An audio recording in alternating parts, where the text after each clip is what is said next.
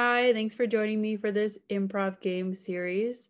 These games are perfect for anyone sixth grade and up.